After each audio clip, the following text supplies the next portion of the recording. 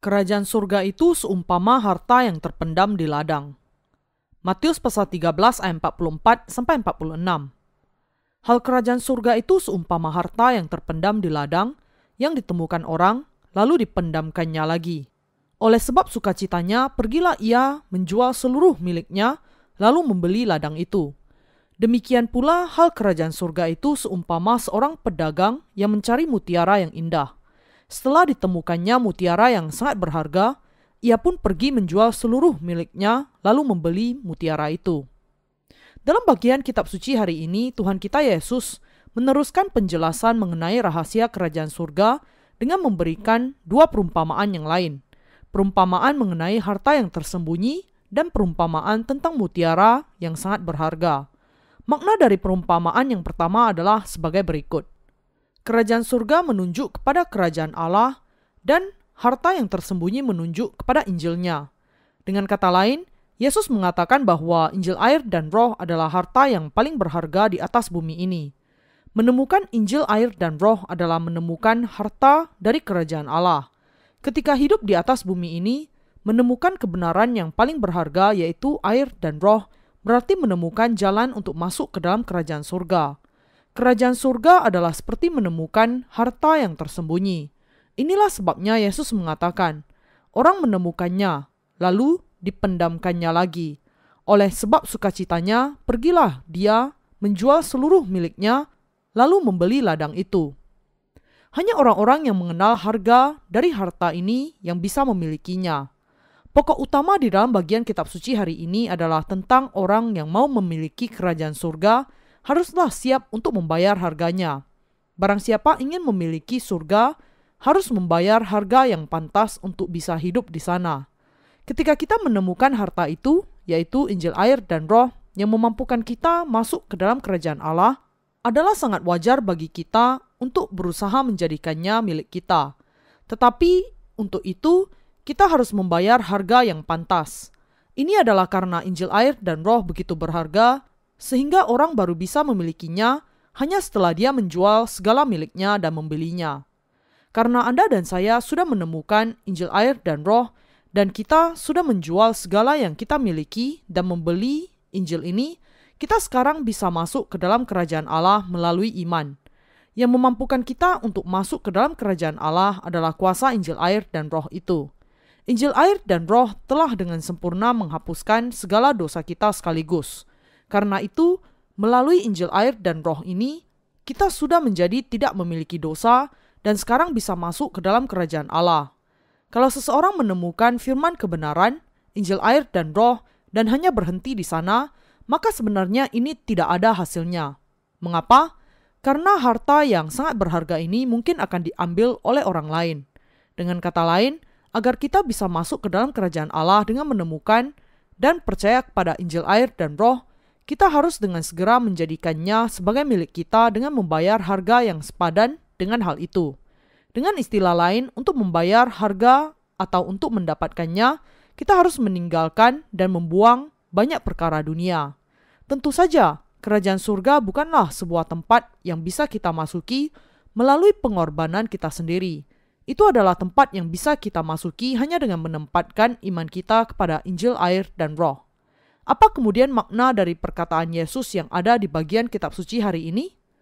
Itu tidak lain dari kebenaran bahwa seseorang yang sungguh-sungguh menemukan Injil air dan roh, harta yang memampukan mereka untuk bisa masuk ke dalam kerajaan surga, menjual segala yang mereka miliki dan membeli harta itu untuk menjadi milik mereka.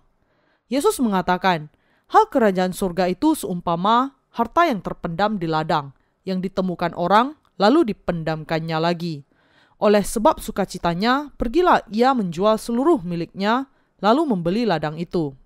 Ketika kita bertemu dengan Injil air dan roh, kita jangan sampai merasa ragu, tetapi menerimanya dengan segenap hati kita saat itu juga.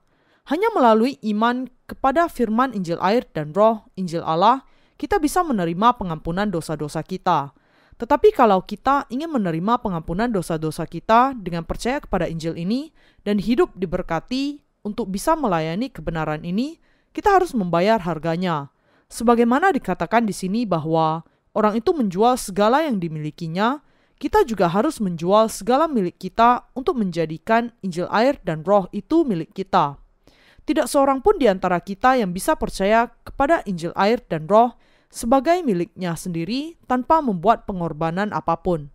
Ketika Injil air dan roh memang begitu berharga, bagaimana mungkin orang yang bisa percaya kepadanya tanpa membayar harga sama sekali?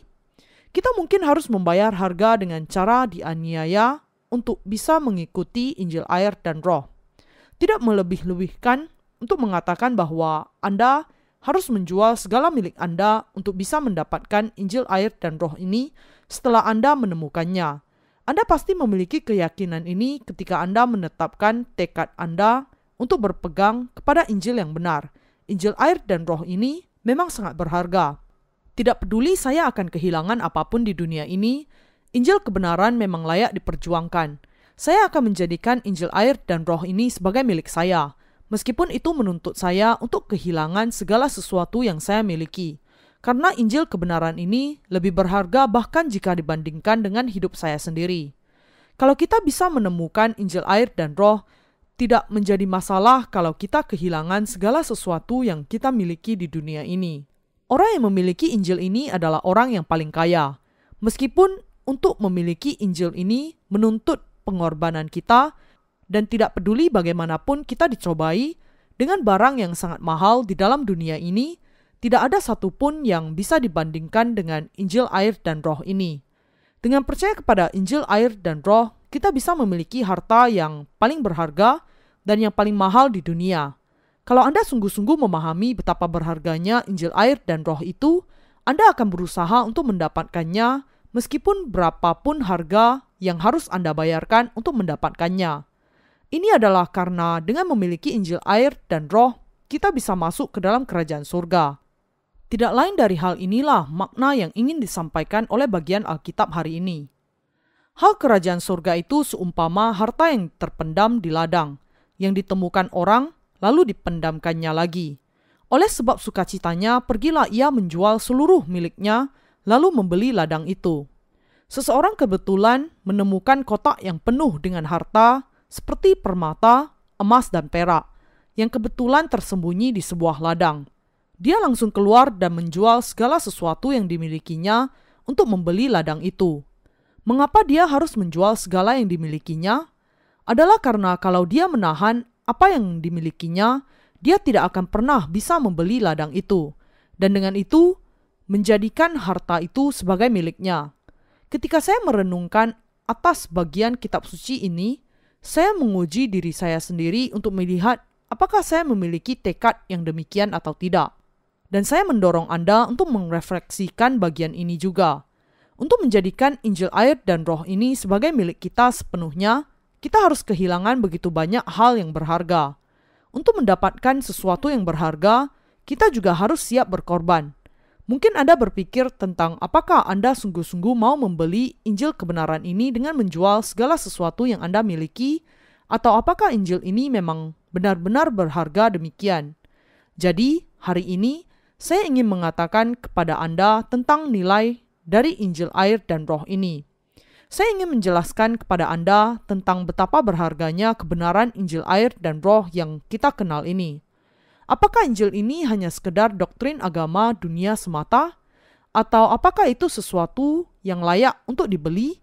Meskipun itu berarti bahwa saya akan kehilangan segala sesuatu, mulai dari rumah saya sampai kekayaan saya, orang tua saya, istri saya, anak-anak saya, dan bahkan hidup saya. Inilah yang ingin saya jelaskan untuk diri saya sendiri dan untuk Anda. Injil air dan roh adalah Injil kebenaran yang memampukan kita untuk masuk ke dalam kerajaan surga. Injil air dan roh adalah kebenaran keselamatan bagi semua orang berdosa. Itu merupakan kebenaran yang memungkinkan kita untuk diselamatkan dari segala dosa kita. Dengan menempatkan iman kita kepada sesuatu apa pun yang lain dari Injil air dan roh, kita tidak akan pernah bisa menerima pengampunan dosa-dosa kita. Dan dengan itu, kita tidak akan bisa masuk ke dalam kerajaan surga. Sebagaimana yang dikatakan Tuhan bahwa Dia adalah pintu dan bahwa barang siapa yang masuk selain melalui pintu adalah pencuri dan penyamun, Kalau seseorang mengatakan bahwa kita bisa masuk ke dalam kerajaan Allah tanpa percaya kepada Injil air dan roh, maka dia adalah seorang penyamun. Dan imannya adalah iman lalang. Bahwa hanya Injil air dan roh yang bisa memampukan kita untuk masuk ke dalam kerajaan Allah adalah kebenaran yang mutlak yang sama sekali tidak memerlukan komentar apa pun. Dengan demikian, Injil air dan roh ini adalah harta yang sangat berharga, yang sangat layak untuk kita beli, bahkan jika itu mengharuskan kita untuk menjual segala sesuatu yang kita miliki. Di atas bumi ini dan juga di surga, apakah yang paling berharga bagi Anda? Apakah harta yang paling berharga untuk Anda dan saya? Itu adalah Injil air dan roh. Injil air dan roh adalah harta yang paling berharga bagi kita semua. Dia yang memberikan kepada kita Injil yang berharga ini tidak lain dari Tuhan kita Yesus Kristus. Apakah Anda memahami harga dari Injil yang dikatakan Tuhan kita kepada murid-muridnya melalui perumpamaannya? Kalau Anda sungguh-sungguh memahami nilai dari Injil, air, dan roh, Anda akan menjual segala milik Anda dan membeli harta ini. Kalau di sisi lain, Anda tidak mengenal nilai dari harta itu, Anda akan berpikir bahwa suatu kesia-siaan menjual segala sesuatu yang Anda miliki untuk membeli harta itu. Dengan kata lain, ketika seseorang tidak mengenal nilai Injil itu, dia ditentukan untuk dikendalikan oleh keadaannya. Kalau seseorang berpikir bahwa segala miliknya lebih berharga jika dibandingkan dengan Injil air dan roh, maka dia adalah seseorang yang tidak mengenali harga yang sebenarnya dari harta ini. Kalau kita tidak mengenal harga dari Injil air dan roh, kita mungkin akan dengan mudah membuangnya. Rekan seiman yang terkasih, kita sebagai orang-orang yang percaya kepada Injil air dan roh tidak bisa sekedar menerima pengampunan dosa-dosa kita tanpa biaya sama sekali. Bagi kita, Injil air dan roh jelas sekali merupakan harta kita, kebenaran yang sejati. Injil ini merupakan harta yang sangat luar biasa bagi kita.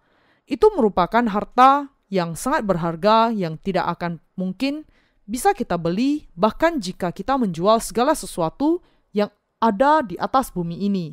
Jadi, Injil ini merupakan harta yang sangat luar biasa. Tetapi orang-orang yang tidak mengenal harganya tidak ingin membelinya. Kenyataannya adalah bahwa mereka seharusnya bersyukur kalau mereka hanya bisa membelinya dengan menjual segala yang dimiliki mereka.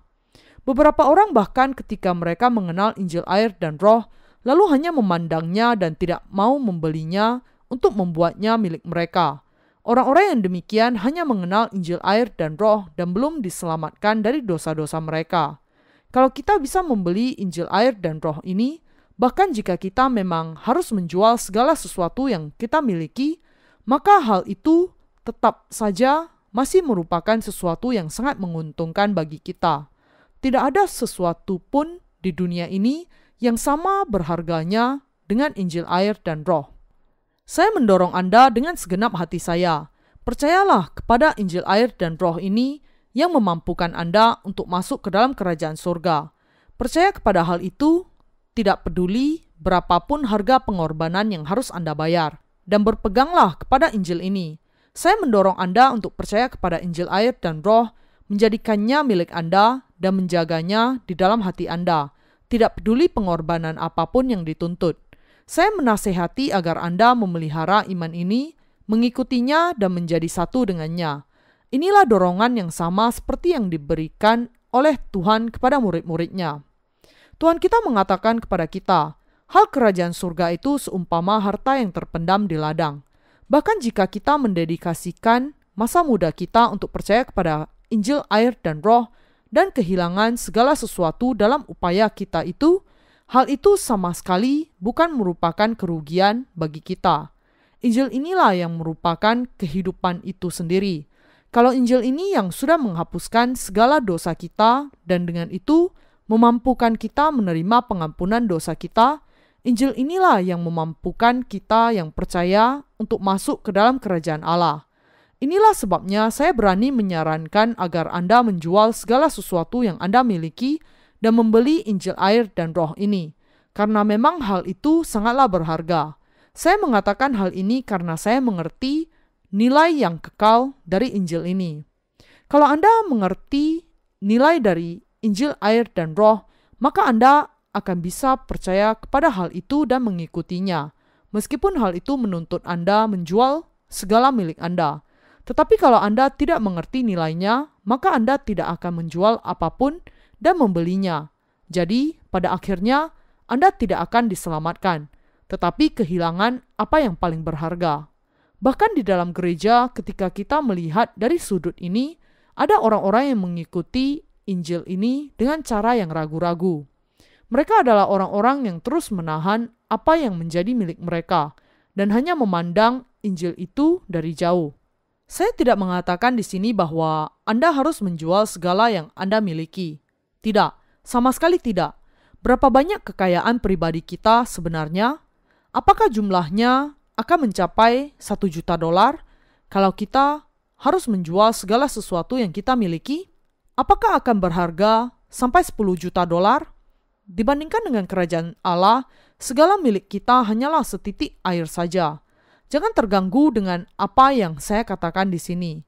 Khawatir bahwa saya akan meminta Anda untuk menjual segala milik Anda dan kemudian memberikan uangnya kepada saya. Saya sama sekali tidak memiliki maksud terselubung apa pun di sini, seolah-olah saya merampas apa yang Anda miliki. Apa yang Anda miliki tentu saja sangat berharga bagi Anda, tetapi dalam rancangan yang lebih besar, saya menganggap semuanya itu masih terlalu kecil, bahkan untuk membayar biaya makan satu kali bagi semua orang-orang benar di seluruh dunia. Kalau kita harus mengumpulkan seluruh orang-orang benar di seluruh dunia dan mengadakan perjamuan makan di salah satu restoran yang mewah, Bahkan hanya sekedar untuk pemesanannya saja, kita harus mengeluarkan jutaan dolar, bahkan mungkin lebih. Demikianlah harta benda kita tidaklah begitu berharga. Tetapi Injil itu berbeda. Nilai dari Injil ini sungguh-sungguh sangat berharga. Tetapi orang-orang yang tidak mengenal harganya tidak mau membelinya. Orang-orang yang demikian adalah orang-orang yang menganggap sesuatu yang mereka miliki lebih berharga daripada Injil kebenaran. Dan karena itu, mereka tidak bisa meninggalkan harta milik mereka dan bahkan mengejar harta milik mereka itu. Berbicara mengenai hal-hal yang demikian pada saat ini memang nampaknya memalukan, serta sama sekali tidak membuat saya merasa senang. Sebagaimana Tuhan mengatakan, "Jangan kamu memberikan barang yang kudus kepada anjing, dan jangan kamu melemparkan mutiaramu kepada babi." Matius pasal 7 ayat 6. Kalau saya bisa memilih jalan saya, saya tidak akan berbicara tentang hal-hal yang demikian. Saya harap saya bisa menjelaskan bagian ini, berbicara hanya kepada orang-orang yang mau mengikuti Injil ini dan kemudian mengakhiri khotbah saya di sini. Tetapi ada orang-orang yang meskipun sudah bertemu dengan Injil air dan roh tetap bertanya-tanya, apakah saya harus mengikuti ini atau tidak? Haruskah saya percaya atau tidak? Haruskah saya bergabung dengannya atau tidak? Mereka senantiasa menghitung-hitung ongkos dan keuntungan dari melakukan semuanya itu, dan terus ada dalam keraguan mereka, terus-menerus memikirkan mengenai pilihan mereka. Ketika saya melihat orang-orang yang demikian, saya menjadi menyesal bahwa Injil itu diberikan kepada mereka saya hampir merasa bahwa saya ingin merampas Injil itu dari mereka dan menyuruh mereka untuk berhenti. Di Korea, ada banyak orang yang tidak memahami nilai Injil air dan roh. Inilah sebabnya kami memutuskan untuk berhenti memberitakan Injil di Korea untuk sementara waktu. Karena orang-orang menyombongkan diri dengan sejumlah uang, seolah-olah mereka berbuat kebajikan kepada kami kalau mereka menjadi percaya, kami memutuskan untuk berhenti kecuali kalau seseorang menjual segala miliknya dan menyerahkan seluruh kehidupannya untuk membeli Injil air dan roh ini, dia tidak akan bisa memilikinya. Tetapi saya yakin bahwa di seluruh penjuru dunia ada banyak orang yang akan menaruh kehidupannya bagi Injil ini. Inilah sebabnya kami masih berusaha untuk memberitakan Injil ke seluruh dunia. Saya yakin bahwa masih ada jiwa yang tak terhitung banyaknya yang akan membeli Injil sejati ini meskipun itu menuntut mereka untuk menjual segala milik mereka dan membayar harganya. Kalau saja mereka bisa percaya secara langsung dan masuk ke dalam kerajaan Allah, hanya kalau mereka bisa menerima pengampunan dosa, hanya kalau mereka bisa menghidupi kehidupan yang benar, dan kalau mereka bisa bersekutu dengan Tuhan dan hidup bersama dengan Dia. Tentu saja, kita secara positif memberitakan Injil air dan roh ke seluruh penjuru dunia, karena itu adalah amanat agungnya. Tetapi juga benar bahwa kami termotivasi untuk melakukannya karena kami percaya bahwa ada banyak sekali orang-orang yang tidak bersalah di seluruh dunia ini. Kita tidak perlu memaksa seseorang yang tidak mengenal nilai Injil itu untuk mempercayainya, dan lebih baik kalau kita memberikan Injil ini kepada mereka yang sungguh-sungguh mencarinya. Betapa berharganya Injil air dan roh itu, bukan? Itu seperti harta di dalam kerajaan surga. Mari kita bayangkan bahwa ada sebuah kotak yang berisi sebuah mahkota yang terbuat dari berlian, memancarkan cahaya misterius dan dihiasi dengan segala macam batu mulia. Kota itu dan semua benda berharga di dalamnya begitu berharga sehingga kita bahkan tidak bisa membayangkan nilainya. Kalau Anda bisa membeli kota itu dengan menjual segala sesuatu yang Anda miliki, tidakkah Anda akan menukarkannya dengan segala milik Anda? Tentu saja demikian. Memang, meskipun kemungkinannya kecil, tetapi karena semua orang memiliki pikiran yang berbeda, mungkin ada di antara Anda yang mengatakan, "Saya tidak mau, saya tidak suka berlian, saya lebih memilih daging babi." Tetapi kalau Anda sungguh-sungguh memahami nilai dari kota itu, Anda tidak akan ragu-ragu untuk menjual segala milik Anda untuk bisa membelinya. Saya tahu nilainya. Saya tahu betapa berharganya Injil air dan roh ini. Saya yakin bahwa Anda juga memahami nilainya. Saya yakin bahwa karena Anda memahami nilai Injil ini, sehingga Anda terus berpegang kepada Injil itu sampai hari ini. Namun, mungkin ada juga orang-orang yang tanpa memahami nilainya hanya mengetahui sepertiga dari nilai keseluruhannya. Tidak ada berlian, meskipun yang besarnya sekepala manusia, yang bisa menjadi berguna bagi orang yang tidak tahu nilainya. Mungkin ada sesuatu yang lain yang lebih berharga dibandingkan dengan berlian itu, tetapi saya tidak tahu.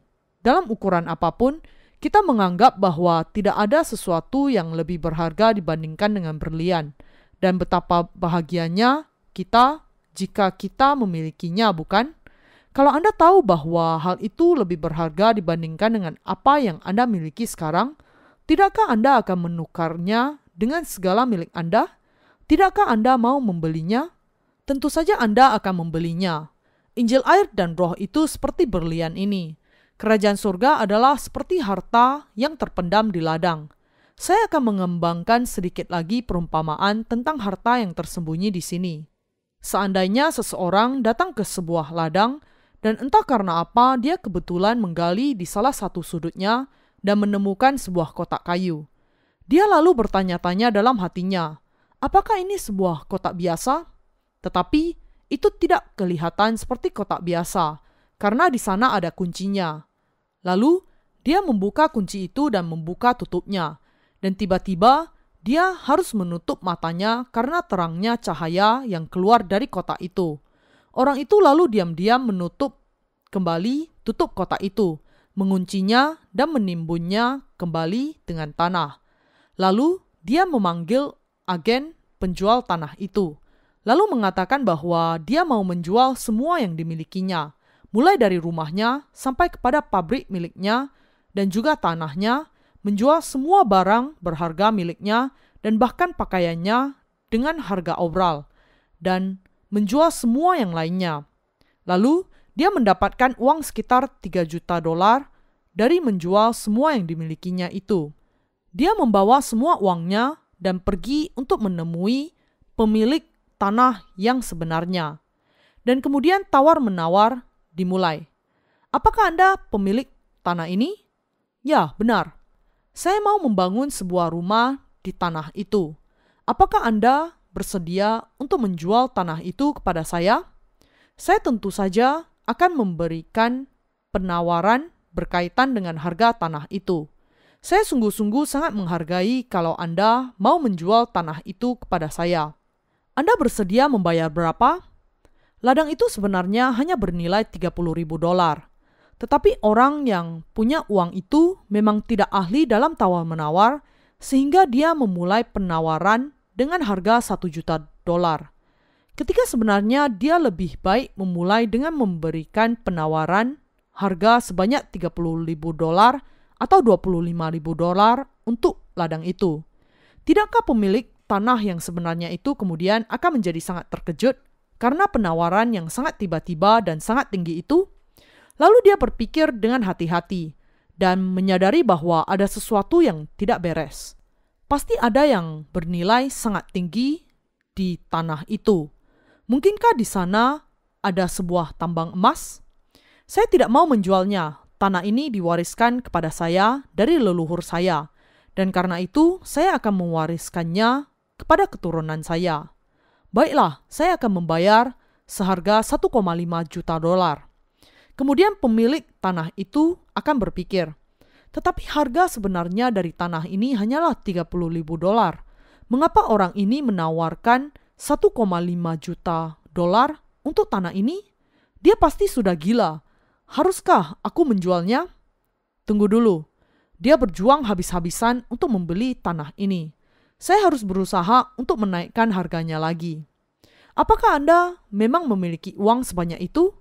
Orang itu pergi ke mobilnya, membawa sebuah koper, dan meletakkannya di depan pemilik tanah. Melihat orang itu membawa uang kontan sebanyak satu juta dolar, pemilik tanah berpikir, rasanya dia memang memiliki uangnya. Itu sebabnya dia menawar sebanyak 1,5 juta dolar. Tetapi saya akan mencoba menahan lagi dan melihat hasilnya. Tidak, terima kasih saya tidak mau menjual tanah itu. Saya akan membayar sebanyak 1,7 juta dolar. Tidak, saya tidak akan menjual tanah itu bahkan jika Anda mau membayarnya 10 juta dolar. Mengapa? Tanya Anda. Karena tanah ini diwariskan kepada saya oleh nenek moyang saya, dan saya akan memastikan bahwa tanah ini akan diwariskan kepada keturunan saya generasi demi generasi. Nenek moyang saya melarang kami menjual tanah ini, dan karena itu saya tidak akan pernah menjualnya. Kita harus menjaga wasiat yang diberikan. Saya harus memegang teguh perkataan nenek moyang saya. Melihat bahwa orang itu tidak ragu-ragu menawarkan uang dalam jumlah besar untuk tanah itu, pemilik tanah berpikir bahwa dia akan memberikan penawaran untuk harga yang lebih tinggi lagi. Bagaimana kalau 2 juta? Tidak, tidak bisa. Berapa harganya supaya Anda mau menjual tanah ini? Saya akan menjualnya kalau Anda setuju dengan 3 juta dolar. Anda seperti peramal saja. Bagaimana Anda tahu bahwa saya membawa uang 3 juta dolar? Semua harta saya sudah saya jual dan harganya 3 juta dolar. Tidak lebih dan tidak kurang sedikit pun. Baik, saya setuju. Saya akan membayar 3 juta dolar dengan dua koper yang lain berisi uang kontan. Lalu dia membayar uangnya dan membeli tanah itu saat itu juga. Sebagai ganti dari segala sesuatu yang dimilikinya, akhirnya dia memiliki tanah itu. Tetapi dia begitu bahagia karena tanah itu nilainya jauh melebihi semuanya. Dia rela menjual semua miliknya untuk bisa mendapatkan tanah itu. Injil air dan roh memiliki nilai yang tidak terkatakan. Nilainya bahkan melebihi kehidupan kita sendiri. Semua itu sangat berharga meskipun kita harus menjual diri kita sendiri ke dalam perbudakan. Anda mungkin pernah mendengar kemartiran di masa gereja mula-mula. Banyak orang-orang percaya dari gereja mula-mula siap untuk menjadi martir untuk bisa memelihara iman mereka kepada Injil yang benar. Beberapa dari mereka dengan senang menyerahkan kebangsawanan mereka dan bahkan menjadi budak dari orang-orang lain agar bisa mempertahankan iman yang begitu berharga. Inilah nilai dari Injil air dan roh itu. Berapa berhargakah Injil air dan roh yang sudah Anda dan saya dengar itu? Injil air dan roh ini adalah Injil yang sangat berharga yang memampukan kita untuk memiliki segala sesuatu di dalam kerajaan surga. Injil kebenaran ini begitu berharga sehingga kita harus membelinya dan menjadikannya milik kita. Bahkan jika kita harus menjual segala yang kita miliki untuk bisa mendapatkannya. Sama seperti orang yang menjual segala sesuatu untuk bisa membeli kotak harta yang tersimpan di ladang itu, kita harus memiliki Injil air dan roh dengan membayar harga dengan merelakan seluruh milik kita kalau memang itu yang diperlukan. Dengan demikian diselamatkan merupakan hal yang paling menyenangkan untuk dilakukan. Bukankah memang demikian? Rekan seiman yang terkasih, ada banyak memang orang-orang yang berusaha untuk memiliki Injil kebenaran tanpa mau menjual milik mereka. Orang-orang yang demikian bisa kehilangannya kapan saja mereka mungkin akan menyerah begitu mereka merasa sedikit saja tidak bahagia. Karena mereka tidak membeli Injil dengan merelakan segala milik mereka, mereka bisa meninggalkan Injil itu kapan saja dan mengambil kembali harta mereka dan pergi. Tetapi orang-orang yang membeli Injil ini dan menjual segala milik mereka tidak akan pernah kehilangan Injil itu. Mengapa? Karena mereka sudah menempatkan hidup mereka sendiri di sana Barang siapa yang tidak membeli Injil air dan roh dengan menjual segala sesuatu yang dimilikinya adalah orang yang sebenarnya tidak percaya.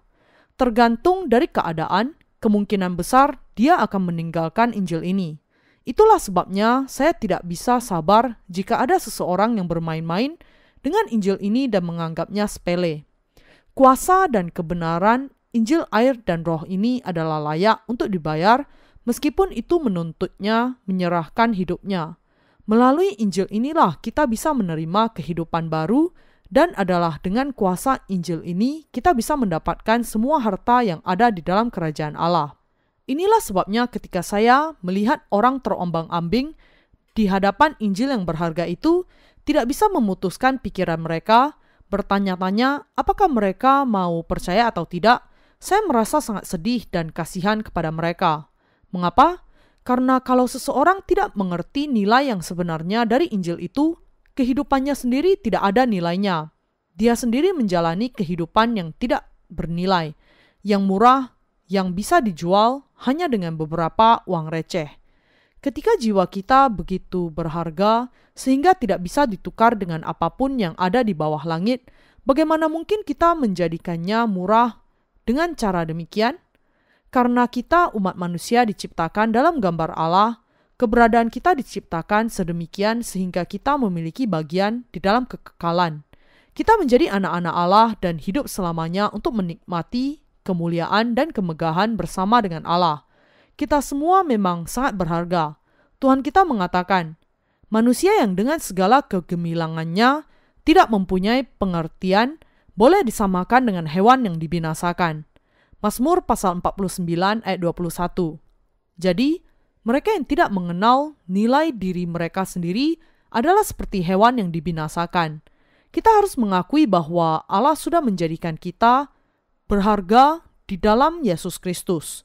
Ada orang-orang yang tanpa mengenal nilai Injil ini masih belum mengambil keputusan, bertanya-tanya, apakah mereka harus percaya kepada Injil ini atau tidak. Saya sudah sepenuhnya menjelaskan semua keuntungan dan penghargaan yang menyertai Injil sejati. Namun, ada banyak orang yang tidak bisa memutuskan dan masih bimbang, dan juga masih banyak orang yang masih khawatir bahwa mereka akan dicurangi. Dengan kata lain, ada banyak orang yang tidak bisa melihat nilai dari Injil itu sendiri. Ketika saya bertemu dengan orang-orang yang demikian, saya merasa sangat kasihan dan sangat frustasi. Bagi mereka yang tidak mengetahui nilai Injil air dan roh, tidak akan pernah bisa memberikan harta mereka untuk memperoleh Injil itu. Dan karena itu, tidak akan pernah bisa dilahirkan kembali sama sekali. Tepat betapa banyak apa yang mereka lakukan dan betapa mereka meninggikan diri mereka sendiri tanpa bahkan menyadari sama sekali betapa menyedihkannya kehidupan semua orang yang tidak dilahirkan kembali, bukan? Mereka menetapkan diri mereka sebagai bahan tertawaan. Kehidupan dari orang-orang yang tidak dilahirkan kembali adalah seperti seekor anjing yang memakan muntahan mereka sendiri dan menelan kotorannya sendiri. 2 Petrus pasal 2 ayat 22.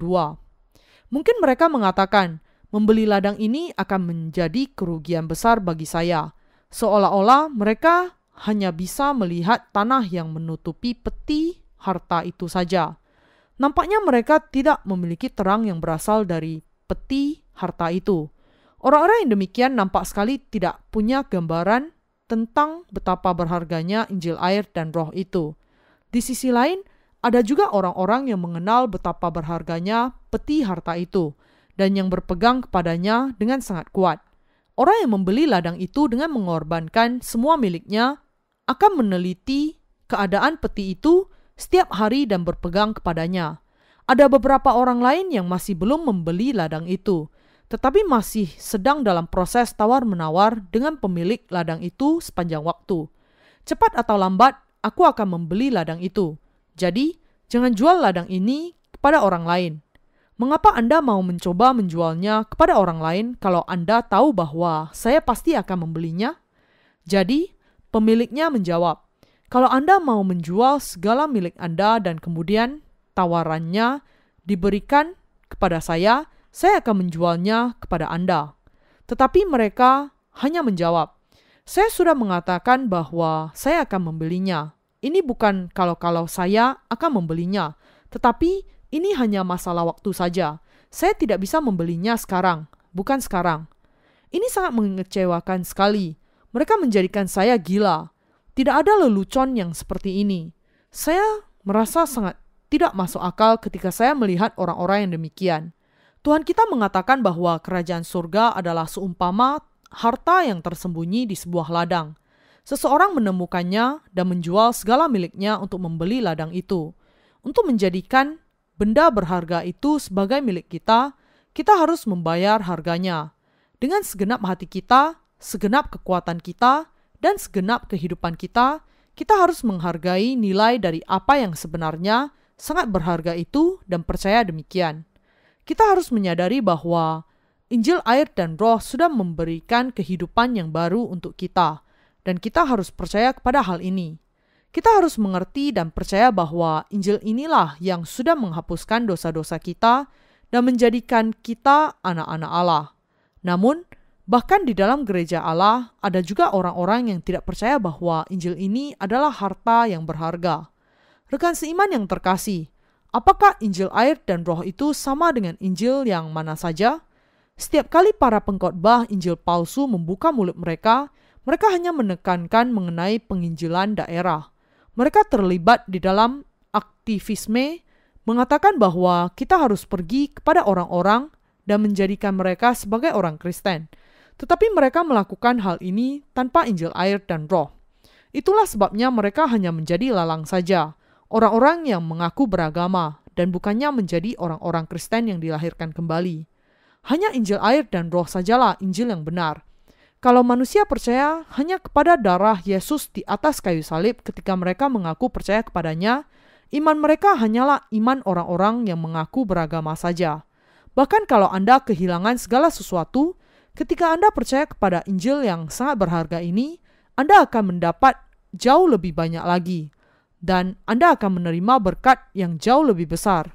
Anda perlu memahami kenyataan ini dan menghargai nilai dari Injil kebenaran ini ketika Anda mempercayainya di dalam hati Anda.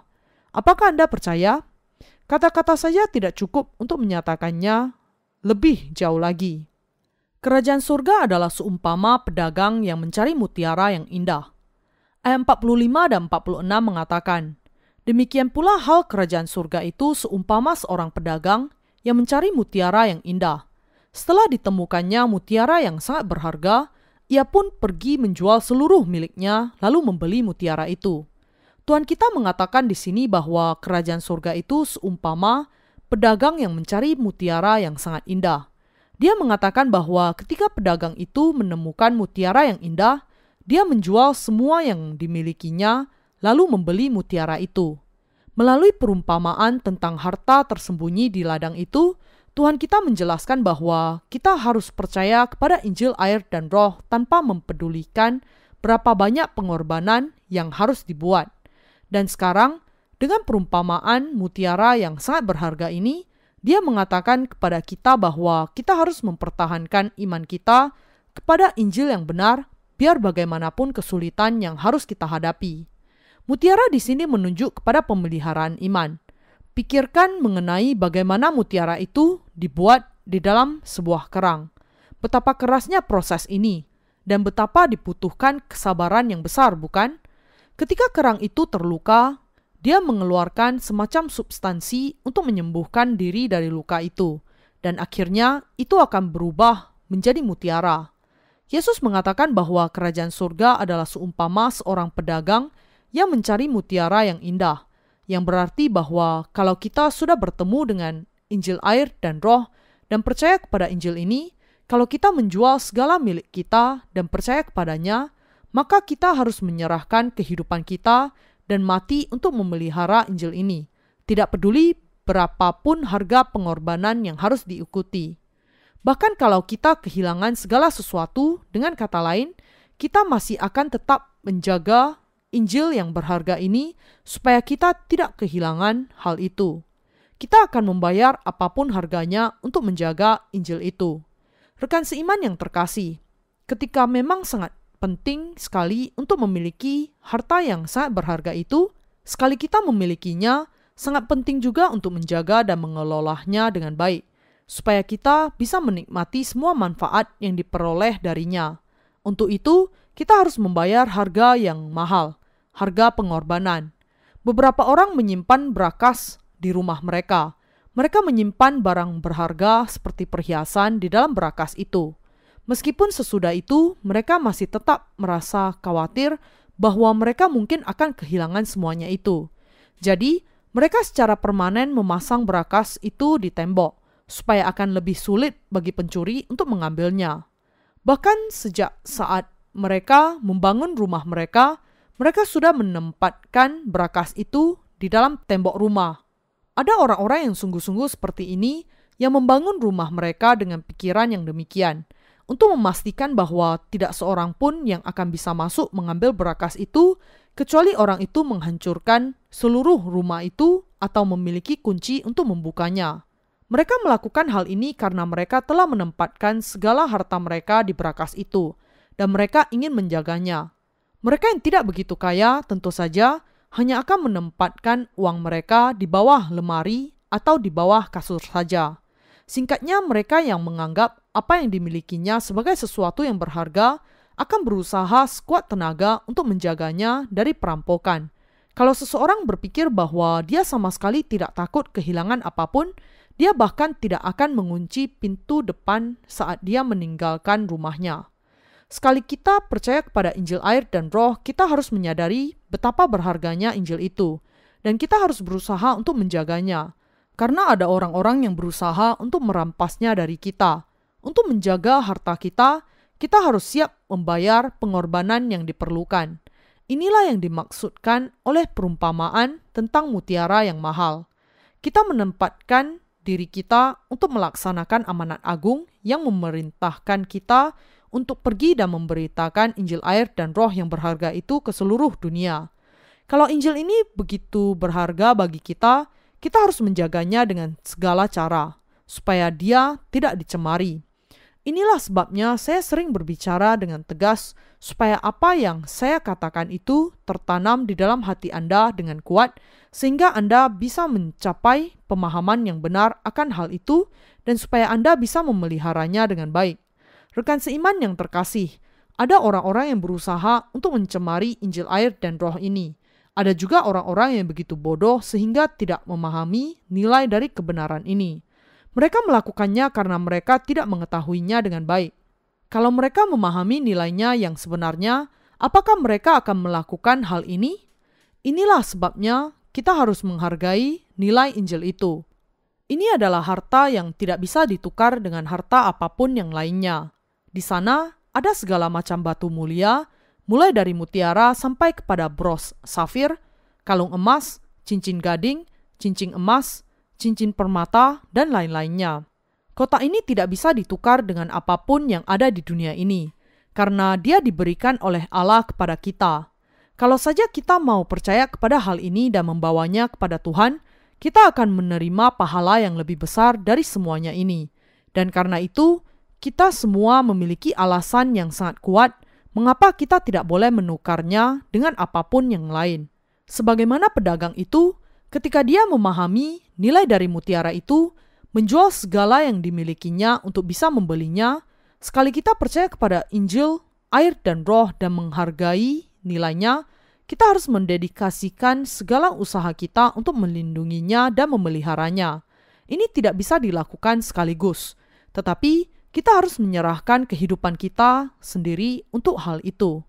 Kita harus menginvestasikan segala milik kita dan mempertaruhkan kehidupan kita untuk hal itu. Sementara berjalan di lingkungan saya, suatu saat saya melihat sebuah toko pizza yang baru dibuka dengan sebuah tanda yang besar yang digantung di depan toko itu. Tanda itu berbunyi demikian: "Saya mempertaruhkan hidup saya untuk pizza." Jadi, saat saya melihat tanda itu, saya sangat terdorong untuk mencoba pizza itu. Bagaimana mungkin seseorang melewatkan pizza yang membuat orang sampai mempertaruhkan hidupnya demikian? Dan bagaimana mungkin ada yang mengatakan bahwa pizza itu tidak enak? Lalu saya berkata kepada rekan kerja saya, kita perlu pergi ke sana dan makan siang di sana. Bagaimana mungkin kita tidak mau ketika pemilik toko itu mempertaruhkan hidupnya untuk pizzanya? Kita harus mencobanya. Mari kita pergi ke toko pizza ini yang sudah membuat orang mempertaruhkan hidupnya. Lalu kami semua pergi ke sana dan mencoba pizza itu. Hasilnya, memang tidak sepadan untuk mempertaruhkan hidup untuk pizza itu, tetapi lebih enak dari banyak toko pizza yang lain. Sesudah selesai makan siang, kami duduk di sana untuk sesaat. Tidak tahu apa yang harus dikatakan kepada pemilik toko itu yang dengan sabar menunggu persetujuan kami. Dan akhirnya saya mengatakan, pizza Anda enak sekali. Pantas bagi Anda untuk mempertaruhkan hidup Anda untuk pizza itu pizza Anda lezat sekali. Meskipun pizza itu memang bukan yang paling lezat dari antara semua pizza yang pernah saya nikmati, saya tetap saja merasa perlu menghargai komitmen orang itu untuk restorannya. Saya suka dengan orang-orang yang memiliki dedikasi yang demikian. Semua orang yang bekerja dengan tekun sampai mempertaruhkan hidupnya untuk apa yang dilakukannya merupakan orang yang sangat saya hargai. Tidak peduli seberapa buruknya pizza di restoran pizza itu, karena pemiliknya sudah mempertaruhkan hidupnya untuk bisnisnya, saya memiliki kepercayaan atas restoran itu, dan saya ingin pergi ke sana lagi. Demikian juga, ketika kita melayani Injil air dan roh, saya ingin agar kita juga sungguh-sungguh mempertaruhkan hidup kita bagi Injil ini, mendedikasikan diri kita untuk memberitakan Injil ini. Dan saya ingin agar kita semua menjaga Injil ini. Pekerjaan ini yang memberikan kehidupan baru kepada jiwa manusia dan menyelamatkan mereka dari kebinasaan memang layak mendapatkan usaha kita. Sangat layak bagi kita bahkan untuk meletakkan hidup kita. Ketika kita bekerja, bahkan jika Allah tiba-tiba mengambil kita dan kita mati suatu hari nanti, pekerjaan kita itu tetap layak membuat kita mempertaruhkan kehidupan kita baginya. Tidak akan ada waktunya di mana kita boleh berhenti dari pekerjaan ini karena beberapa perubahan situasi. Pelayanan pemberitaan Injil ini sangatlah layak untuk membuat kita mempertaruhkan kehidupan kita dan juga mempertaruhkan seluruh kehidupan kita. Dan kita harus memiliki kesabaran ketika menetapkan diri kita untuk melakukan pelayanan yang sangat berharga ini. Kita harus bertahan sampai akhirnya, karena memang sangat tidak mudah bagi kita untuk mengikuti Tuhan. Karena tidak mudah untuk melayani Injil, kita harus bertahan dan bertekun agar kita tidak kehilangan Injil itu. Kita harus menghargai nilainya dan tidak pernah mengubah keputusan hati kita yang sudah menjual segala milik kita untuk mendapatkan Injil itu. Sampai hari kita masuk ke dalam kerajaan Tuhan, kita harus melayani Injil itu dengan penuh ketekunan dan kesabaran.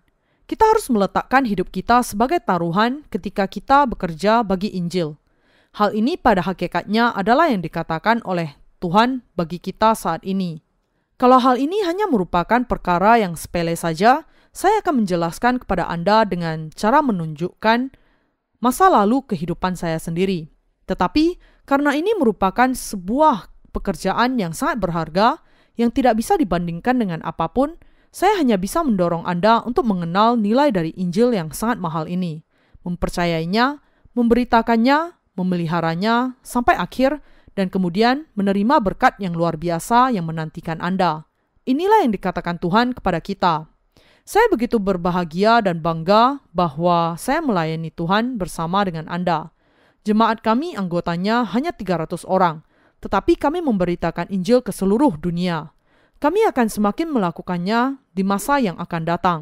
seratus kali lipat dari apa yang sudah kami lakukan sampai hari ini. Bagaimana kami bisa mencapainya?